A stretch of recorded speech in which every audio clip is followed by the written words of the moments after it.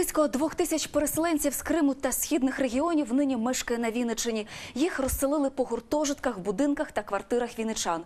Область входить в п'ятірку тих, куди найбільше приїздять переселенці. Саме тому створили спеціальний штаб допомоги з представників служби, які опікуються приїжджими, підшуковують їм житло, організовують харчування та допомагають з оформленням документів. Ірина Дідух знає про це більше.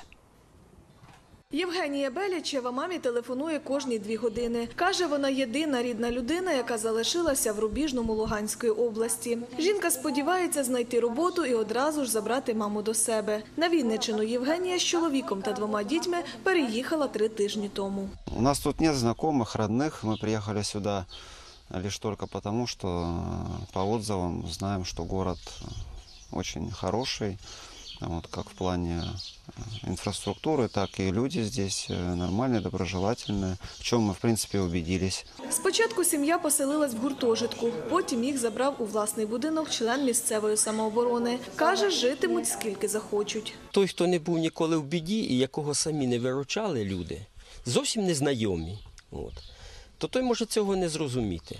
От. А я це розумію. Ну, нам помогают здесь по улице люди продуктами и всем, чем только можно.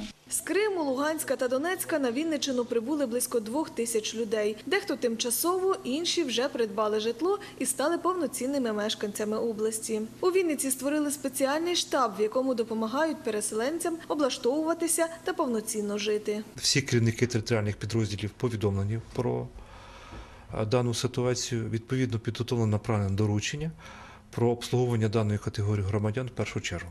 Тобто вони мають можливість зареєструвати своє місце проживання перебування з подальшим зняття з реєстраційного обліку з Донецької Луганської області, не виїжджаючи туди.